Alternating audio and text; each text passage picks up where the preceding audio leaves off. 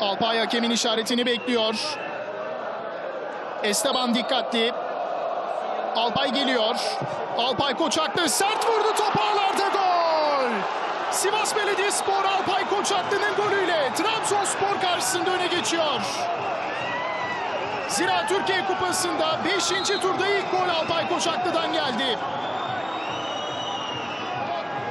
Ev sahibi ekip Alpay Koçaklı'nın güzel golüyle Trabzonspor karşısında üstünü yakaladı. Alpay Koçaklı uzak mesafeden şansını denedi. Esteban'ı mağlup etmeyi başardı. Sivas Belediyespor bu golle Trabzonspor karşısında önde. Alpay Koçaklı'nın güzel golü farklı açılardan görüntüye geliyor. İşte Alpay'ın vuruşu. Top ağlarla böyle kucaklaştı. 9. dakikada Alpay Koçaklı'nın golüyle